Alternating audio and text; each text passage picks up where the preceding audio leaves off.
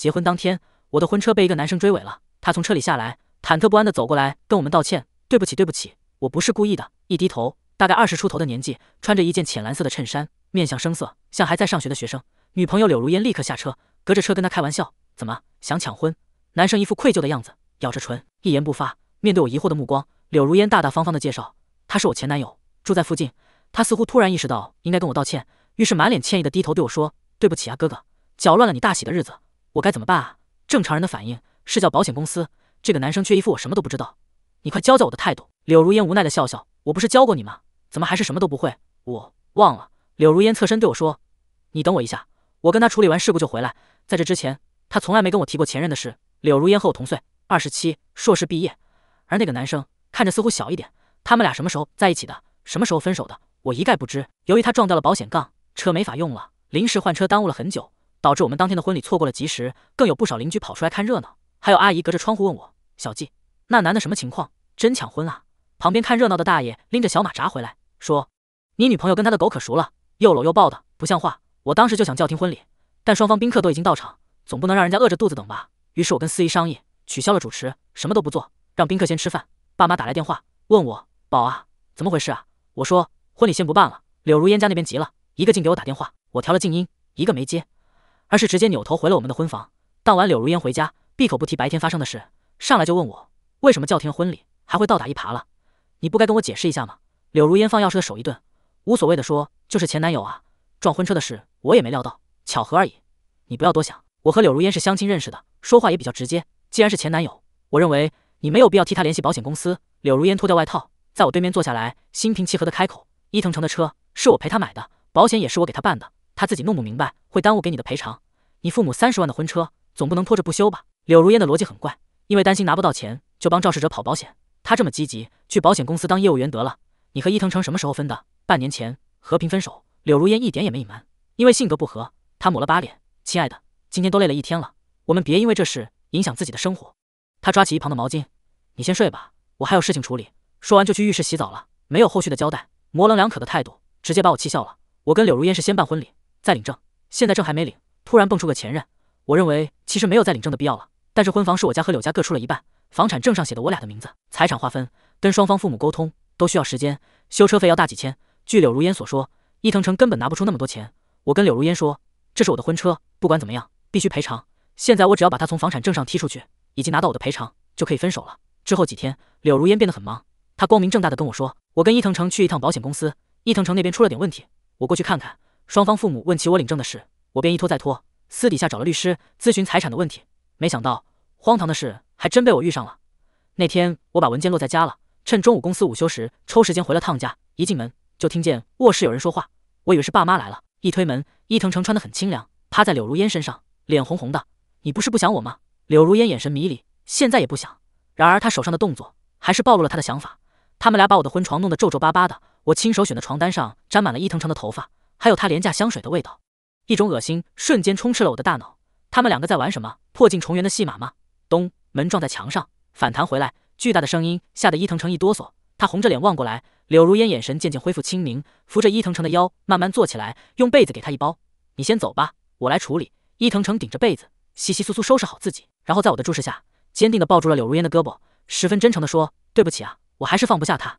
这间婚房花了多少钱？我把钱给你，你把女朋友还给我。我挺喜欢这个装修风格的，要不还是你走吧。”我手里拎着文件，静静地问：“我的婚房为什么要走？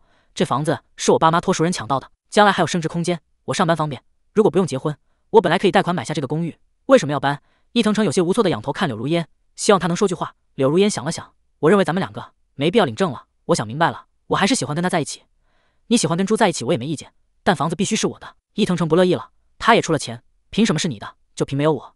他压根买不到这个地段的房子。我举起手机，给他俩拍了张合照，准备发在柳家的家族群里。柳如烟疼的站起来，把我拉出门外，压低声说：“你别闹了，我妈根本不同意我们在一起，闹大了对你有什么好处？”哦破案了，不是性格不合，是家里不允许。可是跟我有什么关系呢？房子我必须拿，他们俩也必须滚。当晚闹得不是很愉快。柳如烟和我在客厅里谈话，伊藤城待在卧室里，因为我不想坐在他们两个折腾过的床单上。柳如烟竭尽所能的劝我，我又不差钱，多给你一点不就行了？你爸妈已经给你买过一套房子了，还差现在这一套吗？我缺的是那些钱，房子的购买、装修都是我辛辛苦苦盯着。连窗帘都是我跑了不下十几家店才定下的，现在为了一个不要脸的前任就拱手让人，凭什么？说白了，房子是我的资源，我为什么要给他？扶贫嘛，我喜欢这一套。见我不松口，柳如烟也恼了。你这么耗着有意思吗？我不喜欢你，你听明白了吗？我震惊了，说的好像我多喜欢他一样。他该不会以为我咬死不松口，是因为我还想挽回他吧？反正我跟柳如烟没领证，也没有任何深入交流。此时她急着嫁给伊藤城，我反而成了最不着急的一方。我笑着说：“房产证上写的是咱俩名字，你要么拿了我的钱把名去了，要么就耗着。”卧室门咚的打开，伊藤城若无其事的走出来，拉住柳如烟的手，晃了晃，平心静气的说：“别跟他一般见识了，我又不是没房子，你跟我回家啊。”哦，伊藤城所谓的房子是租的。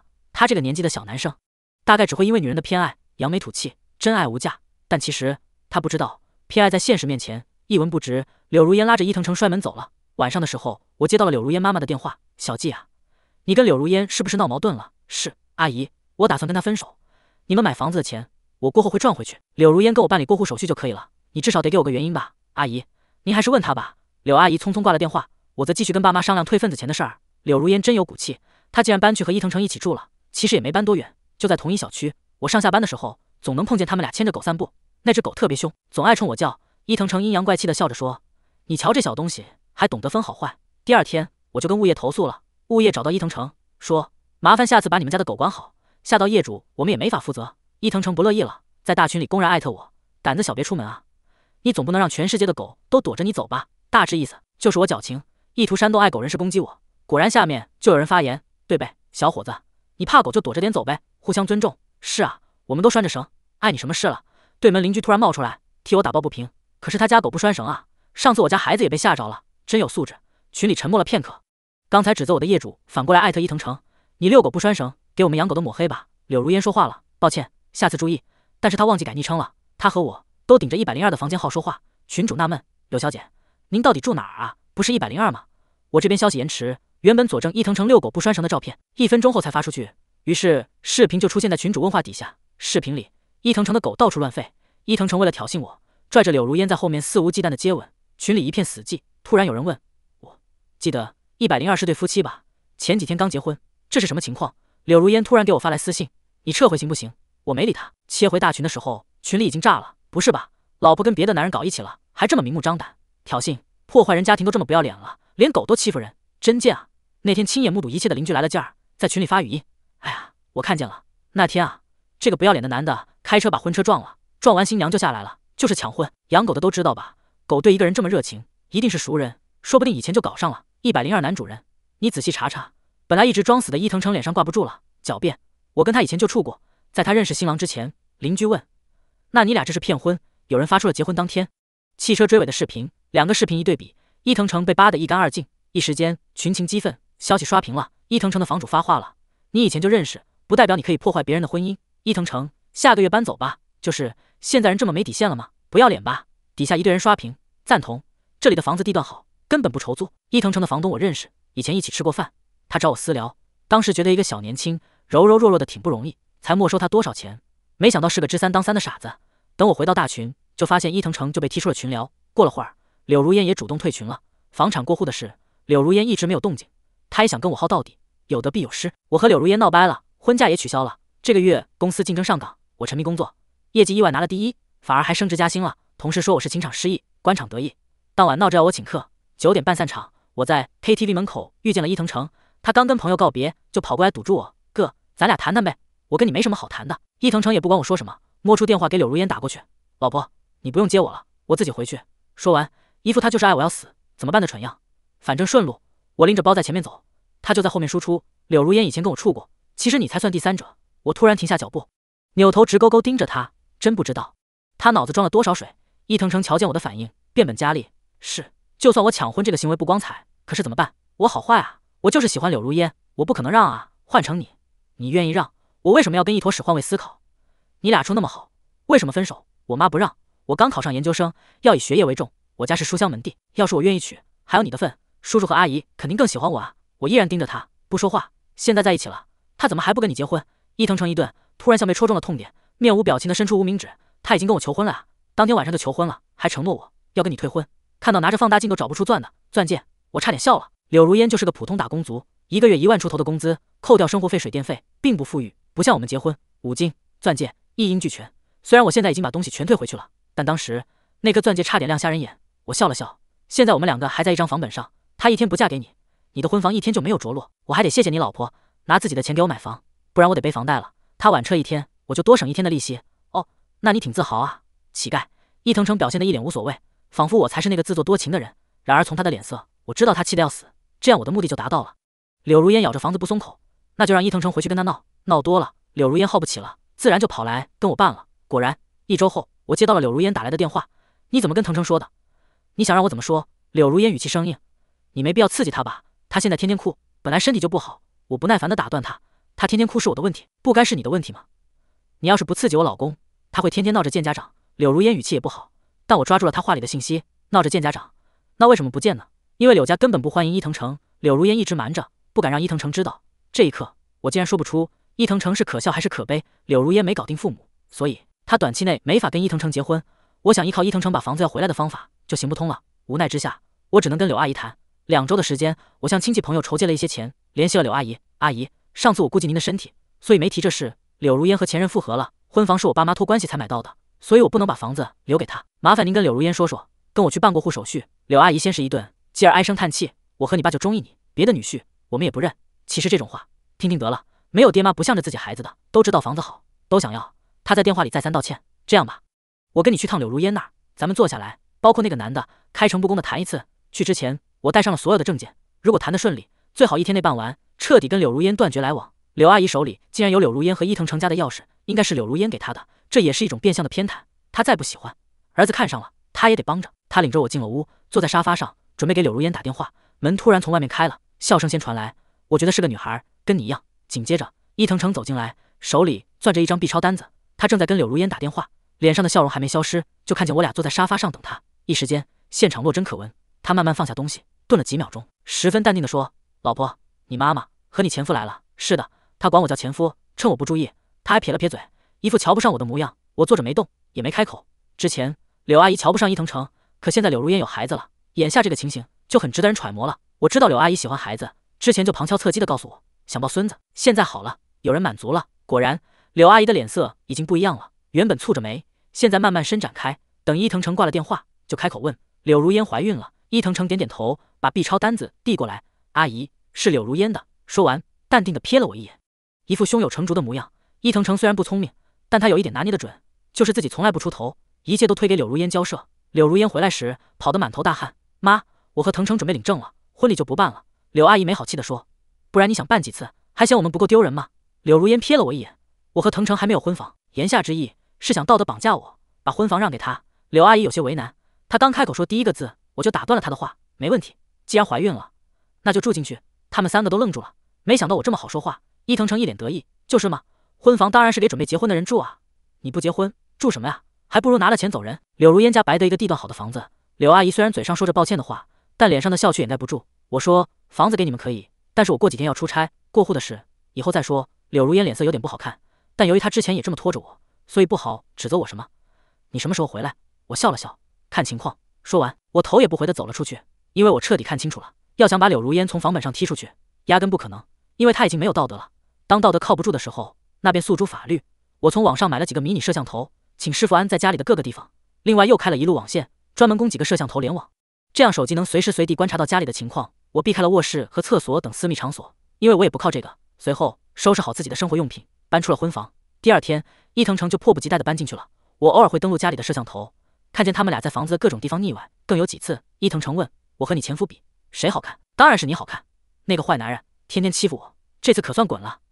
你以后出门小心点，万一他找人报复你，我没报复他就不错了。兄弟和周围邻居都替我感到不值，你怎么不争口气啊？凭什么把婚房让给那对狗男女？是我就往门外泼大粪，雇人骂到他爹妈都不敢认。可是这些只是不痛不痒，小打小闹，要搞就搞个大的。我知道伊藤诚在窥探我的朋友圈和社交软件，因此从那天开始，我每天都发一条动态。第一天是家里的茶几，我说我喜欢北欧风，他跑遍了全城的大街小巷帮我找到的。第二天是窗帘，他喜欢黑色的，可是我喜欢透的，最后还是听了我的意见。第三天，我家的设计图都在这里了，想抄作业的朋友私信我，我可以完美复制。第四天，我还爱你。等发到第十天深夜，伊藤诚手滑给我点了个赞，然后火速取消了。某天周末的清晨，邻居给我发微信：“你们家叮叮当当在搞什么呀？”我登录摄像头一看，好家伙，伊藤诚终于忍不住开工了。茶几、餐桌、窗帘、沙发都被他请来的工人砸得稀碎，并运了出去。不到一天的时间，家里变得空空荡荡的。伊藤诚心情极好的坐在废墟里，给柳如烟打电话：“亲爱的，我把那男人的东西都扔掉了，你今天早点下班回来，咱们换新的。”与此同时，伊藤诚朋友圈更新了一张废墟的照片，配文：“旧的不去，新的不来。”我笑了。两分钟后，我打了报警电话：“你好，警察同志，我要报警，理由是故意损坏他人财物。”伊藤诚被带到警察局的时候，人还是蒙圈的，他还穿着早上发朋友圈的那身衣服，化了妆，等着柳如烟下班回来陪他去家具城挑家具。故意毁坏财物，他听到警察的话。攥着钱包，一脸无辜。我不知道，我没有，我就装修了一下自己的家具。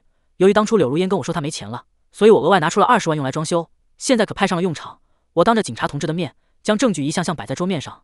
当初购买家具的目录费用明细支付账单和账户，伊藤诚协助搬家工人砸坏家具抬走的视频，以及房产证、权利人我和柳如烟共有情况，共同所有证据确凿。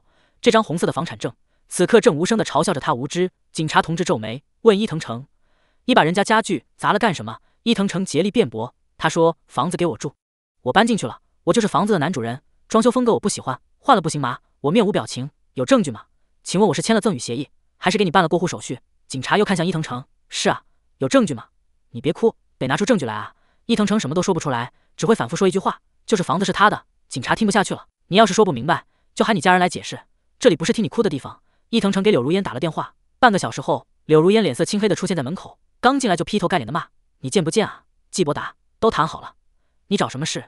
警察怒喝一声：“注意你的言辞！”我眨眨眼，挤压在心里的恶气终于在此刻得到了宣泄。警察同志，这是我的婚房，他结婚当天跟他好了，甚至把我撵出家门，自己和他住进去，现在损坏了我装修的家具，您看怎么办？警察瞥了眼清单，说：“犯故意毁坏财物罪的，处三年以下有期徒刑、拘役或者罚金，数额巨大或者有其他严重情节的，处三年以上七年以下有期徒刑，三千元以内的。”还可以调解赔偿，造成巨大损失的损坏别人的财产物资达到十万元以上的，除了赔偿损失和各种安抚金，还是拘留或者判刑三年、七年或者更长都是有可能的。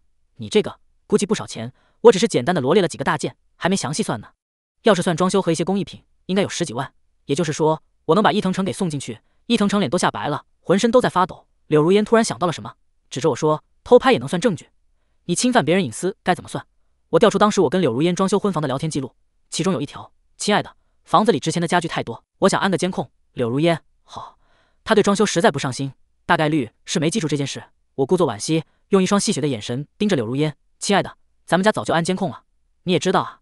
我突然想起一段视频，是上次随手保存的，由于后半段过于不忍直视，所以一直丢在收藏夹吃灰。现在拿出来，画面是客厅，内容是马赛克，不宜观看，但声音透过手机清晰的传出来。宝贝，我们换个地方吧，万一有摄像头，不怕。伊藤诚笑嘻嘻的。甚至还调高了声音，就是让他看见我在他的婚房里干什么。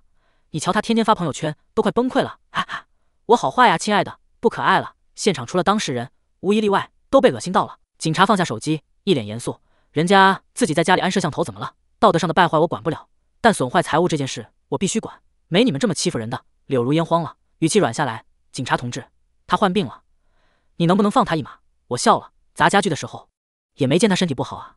警察站起来。立案之后就不撤案了，你们商量好，要是接受调解，就去调解室。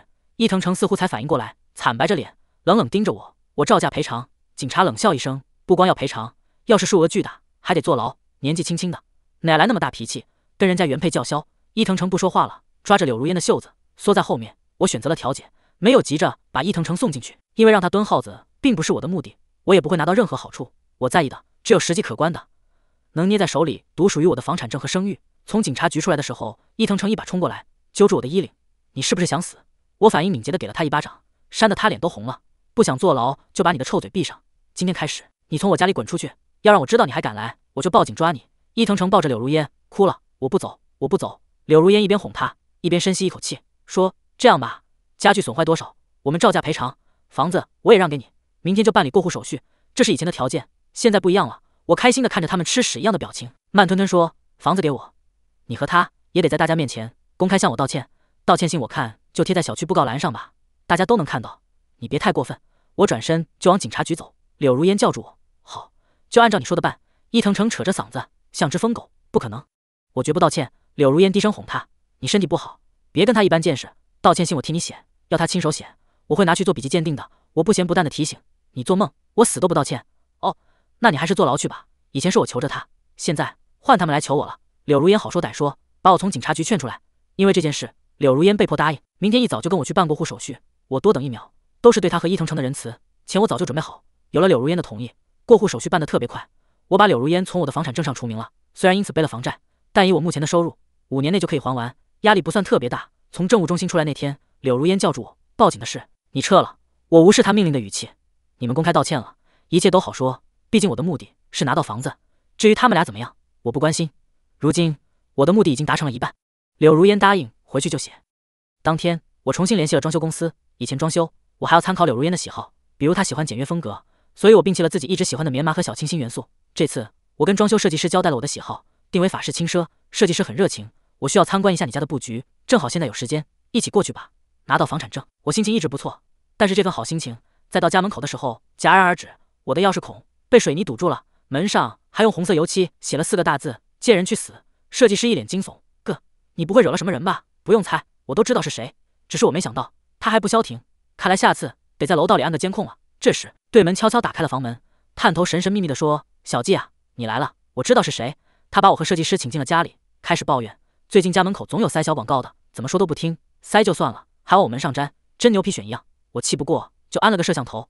他打开电脑，调出当天的监控。你说巧不巧，刚好就录到他了。背面有，待会下楼的正脸也有。只见宽阔的屏幕中央，伊藤诚背对着镜头，拎着一罐红色的颜料，肆无忌惮地往门上喷字。喷完之后，还掏出自带的水泥，填到锁眼里。做完这些后，他掏出湿巾，在门把手上擦了擦。邻居没忍住吐槽：“他在干什么？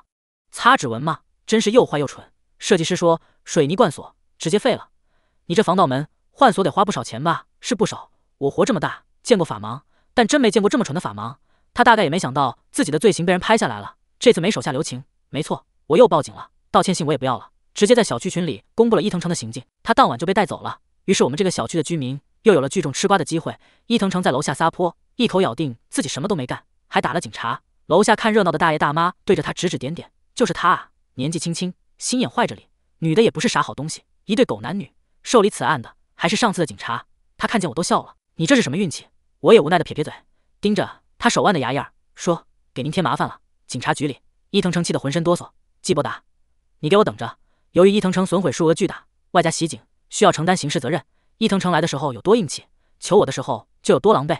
我知道错了，哥，你饶了我好不好？我刚考上研究生，我还有学要上，你干嘛要毁我前途啊？真是好多年都没人给我讲笑话了。你前途不是自己毁的吗？警察同志也说，现在不是他饶不饶你。你行为太恶劣了，他说了不算。最后我没等到柳如烟来，昨晚笔录就回家了。据说伊藤诚后来判了，但由于给了我赔偿款，所以没重判，缓刑出来了。这件事在当地算个大新闻，毕竟不要脸的人很多，像他俩这么登峰造极的没几个。前前后后，从他追尾到抢人老婆，最后撒泼，都被吃瓜群众给串起来了。视频绑成一块，外加一篇小作文，在当地疯传，还有视频博主转发，事情很快有了热度，底下都在评论。有人说是哪里的吗？顶上去让他们单位和学校看到啊！这样的人就别在现实中生活了，容易挨揍。哇，这不是我同事同学吗？即便打了马赛克，但还是被人认出来了。由于我已经和他们没了交集，一切后续都是从网友的嘴里知道的。伊藤诚因为有了案底，刚考上的研究生也读不了了，被学校给退了学。柳如烟的事情闹到了单位，被开除了。更炸裂的是，柳如烟早就和伊藤诚偷偷领了证。就在伊藤诚和我炫耀柳如烟跟他求婚后不久，一个蹲耗子的，一个无业游民，绝配。但是柳阿姨在知道伊藤诚有案底后，死活不同意让柳如烟生下来。毕竟这件事影响孩子前途，是他们柳家的耻辱。她天天闹，甚至还煽动一大帮亲戚朋友上伊藤诚父母家闹。最后柳如烟受不了了，跟伊藤诚离了婚，孩子也打掉了。爸妈感慨：幸亏你当机立断，要是硬着头皮把证领了，还不知道要多麻烦呢。现在全小区的人都认识他俩了。那天看门大爷遇见我，十分慈祥的跟我拍胸脯保证：“哥，你放心，大爷眼睛亮着呢，你安心住在这个小区。我看他们谁敢在我眼皮子底下混进来。”经过小半年的折腾。我把精力全部放在了工作上，短期内并没有结婚的打算。父母也意识到，盲目催婚可能有数不清的问题。日久见人心，长期看人品，不骄不躁，好事多磨。完。